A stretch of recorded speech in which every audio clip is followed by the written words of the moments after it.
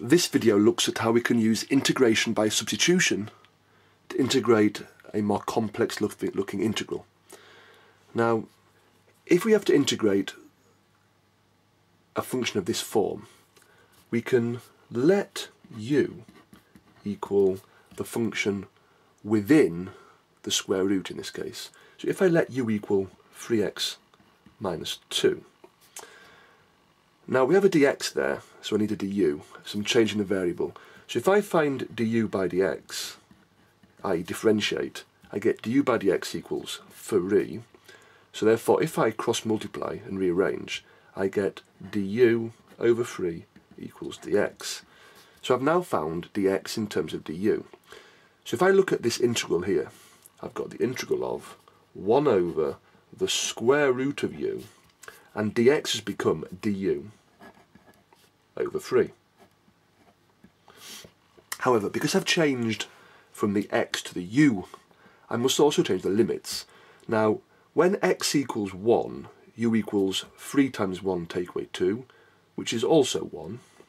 But when x is 2, 3 times 2 is 6, take away 2 is 4.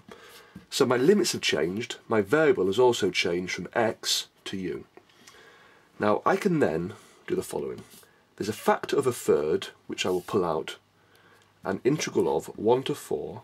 I can write 1 over u as u to the power of minus a half du.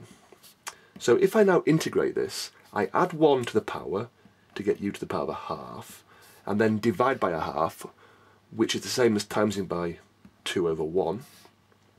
There's a factor of a third here, and the limits are between 1 and 4. So effectively, it is a third times 2, it's 2 thirds, u to the half, between 1 and 4.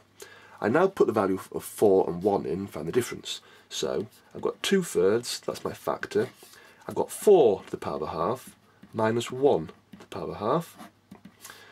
Now a half just means square root, so it's 2 thirds, 2, take away 1, which is 2 thirds of 1, which is 2 thirds, as required.